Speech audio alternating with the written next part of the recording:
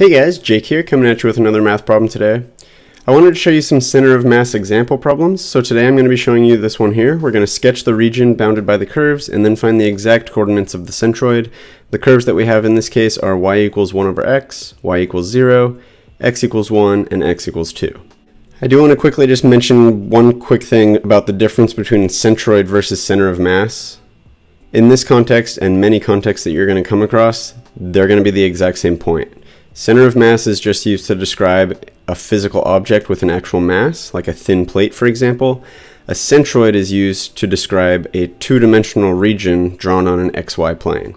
So since this region doesn't actually have mass, because it's just a two-dimensional object, center of mass isn't really appropriate. However, centroid and center of mass are going to use the same formula. So I'll get into what that formula is in a minute. Um, first, we'll go ahead and just jump into this problem by going ahead and sketching the region bounded by these curves. So let's go ahead and start with our xy axis. And 1 over x is going to look something like this. We're going to have a horizontal and a vertical asymptote here and here. And then we would have a similar kind of thing going on down here as well. But since all the rest of these are in the positive, you know, the first uh, quadrant, positive x and y, uh, we don't really need to worry about this piece down here y equals 0 is just going to be the x-axis here. x equals 1 is going to be a vertical line at x equals 1, which would be right about here. And then x equals 2 is going to be a vertical line at x equals 2. So you can see the region that is kind of trapped between all these different functions that we were given is right there. So our centroid is going to be somewhere within this little area. And to figure out exactly where that is, we're going to need to use the center of mass equation integrals, which are two of the formulas on my Calculus 2 study guide. If you haven't already checked that out, there's a link down in the description below where you can go grab yourself a copy of that. It's available for instant download. It's very affordable, so you can go grab that and start using it today to make homework and studying for tests a lot easier for you. So actually, go ahead, push pause on this video real quick, go click that link, grab yourself a copy, download it, have it ready, and then I'll show you how to use these two equations on there. So the equations on my study guide that I mentioned are the center of mass equation integrals, which we'll go ahead and start with those formulas and then I'll show you how to use them. So here's the formulas from my study guide. We really could start with either one. We pretty much have to do them each separately. So we kind of have like two different sub problems here within this problem. I'll just go ahead and start with the x, the x bar, which basically just represents the x coordinate of the centroid of this region and then y bar is obviously going to be the y coordinate of the centroid. So both of these are going to basically rely on the fact that we have this y equals 0 as our, you know, one of our bounds of this region because this f of x that's in both of these equations is just going to be the other function that we have that creates that region. So in this case, that other function is y equals 1 over x. So this 1 over x is going to be uh, the f of x in both of these equations. The other thing I want to point out is this capital A here. This just represents the area of the region. So the first thing we would need to do is figure out the area of this region here, and then we would be able to use that for capital A in both of these equations. I'm not going to show you all the process of doing that. I have made another video on how you can find the area between two curves, and we could basically just do y equals 1 over x as one of our curves, and y equals 0 as our other curve, between 1 and 2. And if you want to check that video out, you can just click up there at the top of your screen. But essentially what that would come down to is just the integral from 1 to 2 of 1 over x. And if you figure out what that integral is, that actually tells you that the area of this region is going to be natural log of 2. So we're going to be able to use natural log of 2 for the area of this region, and that's going to be true for both of these equations. We'll start with this one though, and then we'll kind of get into the y bar in a second. And then we're going to have the integral from a to b, where the bounds of this integral are just going to be the left and right edge, basically whatever x values our region actually sits in. So in this case, the bounds of our integral are just going to be 1 and 2, because this entire region is between x equals 1 and x equals 2.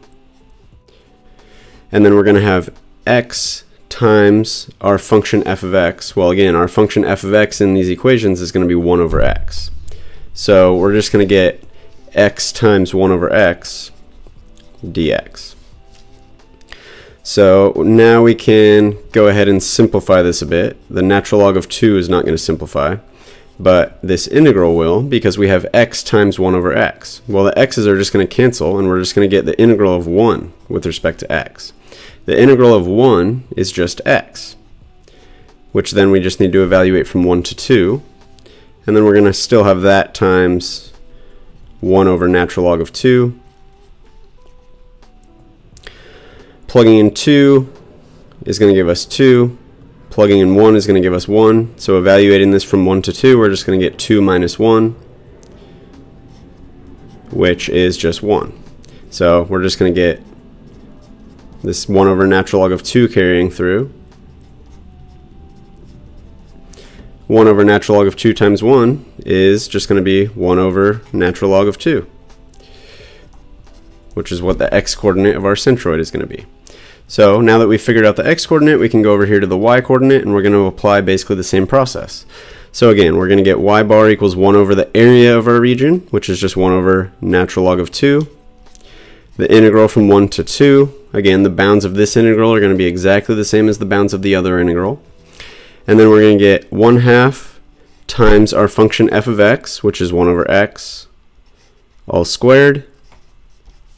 Now, again, we can kind of simplify this a bit. We're going to get y bar equals, we have a constant 1 half here that we can actually pull out of our integral. So that'll be 1 over 2 times natural log of 2 times the integral from 1 to 2 of 1 over x all squared, well this is just going to simplify down to 1 over x squared.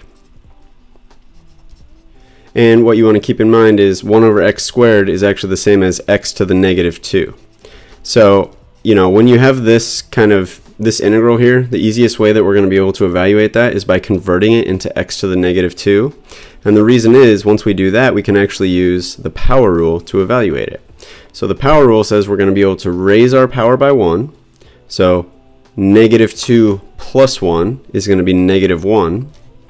And then we divide by our new power. Our new power is negative 1. So x to the negative 1 divided by negative 1 is basically just going to make it negative. And then we're going to evaluate that from 1 to 2. And then we'll still keep all this stuff out here. Now to evaluate this from 1 to 2, we're just going to plug in 2. And remember, x to the negative 1 is the same as 1 over x. So plugging in 2 into this is actually going to give us 1 over 2. But then we do have this negative here, so negative 1 over 2. And then we're going to do minus the result of plugging in 1 here. 1 over x, 1 over 1, is just going to be 1. And then we still have a negative, so negative 1. And then again, we'll just keep this 2 ln2 out here. So then we have these negatives that are going to cancel and turn into a positive. So we're going to get negative 1 half plus 1 right here, which is just a positive 1 half times 1 over 2 ln 2, which is just going to be 1 over 4 ln 2. So we know the x-coordinate of our centroid is going to be 1 over natural log of 2, and the y-coordinate of our centroid is going to be 1 over 4 times ln of 2. So the exact coordinates of our centroid is going to be 1 over ln2 and 1 over 4 ln2. And it would be a good idea, we could definitely you know, plug these into a calculator and figure out about what these are just to confirm that that point actually lies here, you know, somewhere in the middle of that region. And if we did that, we would find that this is about 1.4 and 0.4 which, you know, x equals 1.4, y equals 0.4 is definitely within this region here. So that definitely seems like a reasonable answer, should make sense. Um, so that that's basically it. We know the coordinates of our centroid to be this point right here. If you found this video helpful, be sure to hit the subscribe button down below, hit the little bell icon so you're notified of all my new videos. I'm sure together we'll be able to get you some much better grades in calculus and save you a lot of time along the way. Thanks and see you next time.